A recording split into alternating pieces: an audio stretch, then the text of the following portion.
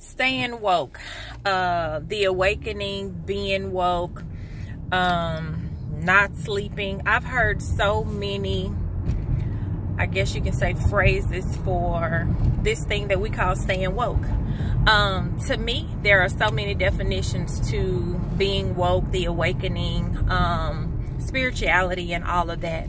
But at the end of the day, what has really resonated with me when it comes to staying woke is learning the difference between religion um, and tradition, the difference between uh, spirituality uh, and religion, the difference between what what's in all of these books, whether it is uh, the Bible, the Quran, um, the different faiths, I have come to a realization that at the end of the day, what we are supposed to do is keep one commandment, and that is the commandment to love, um, to share love, to be love, um, and to be that walking on the earth.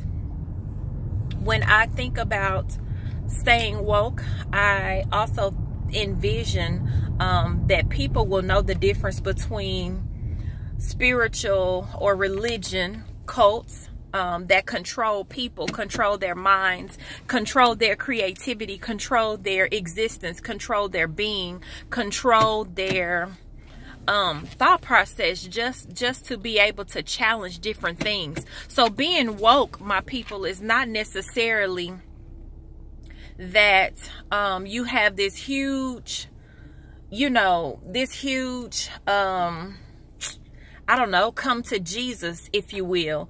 Being woke is knowing the difference between what was being taught and what you have learned. What was being taught and what you know that works for you. What you have been taught and what you have learned along the way. The awakening, staying woke, being woke simply means doing what you know to do that is best for you at this moment without all of this religious uh, control crap, jargon, um, fallacies, if you will, being thrown at you.